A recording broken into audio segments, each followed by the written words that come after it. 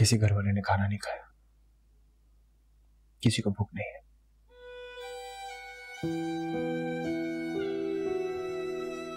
मुझे भी नहीं खाना।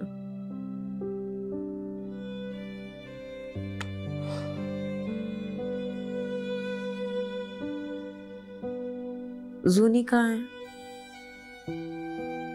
अपसेट है। अपने आप को कमरे में बंद कर लिया उसने। मुझे उसके पास ले चलो। मैंने उसके साथ बहुत गलत किया है।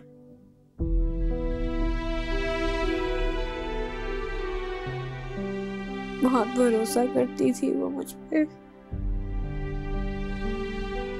और मैंने उसका भरोसा तोड़ा है।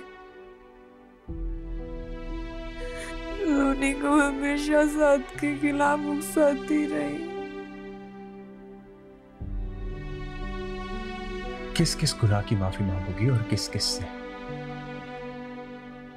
क्या करूँ नबी?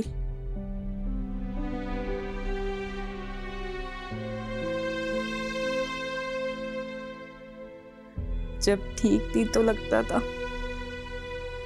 अपने कदमों तले सारी दुनिया को रोन दूँगी।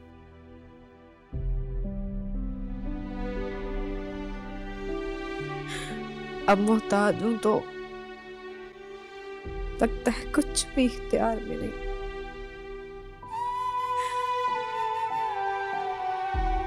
बहुत देर से एहसास हुआ है तुम्हें सबका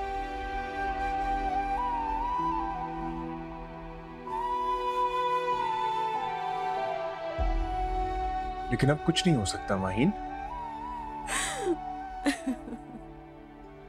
क्योंकि जूनी ने सात को नोटिस भिजवा दिया है और असद भाई रूमी भाभी को डाइवोर्स दे रहे नहीं नहीं। असद भाई को रोको। रूमी बेकसूर है। क्यों? तुम्ही ने गवाही दी थी ना उनके खिलाफ? और वो रिपोर्ट्स रिपोर्ट्स का मुझे कुछ नहीं पता। बस मुझे इतना पता है रूमी बेकसूर है। जेलस थी मैं रूमी से। इसलिए रूमी और असल भाई के दरमियान गलत फहमियाँ पैदा करती रही।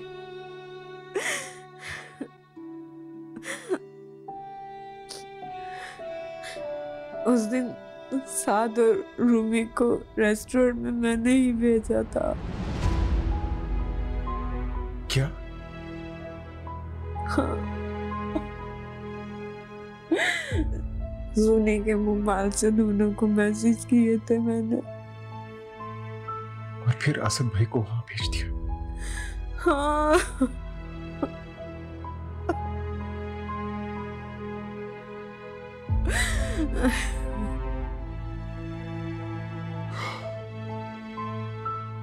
यू नो व्हाट पहले मुझे तुम्हारी हालत पर तरस आता था। दुख होता था तुम्हें देखकर? लेकिन अब मुझे लगता है कि जो जो कुछ भी हुआ है ना तुम्हारे साथ, वो बिल्कुल ठीक हुआ है। You you deserve all this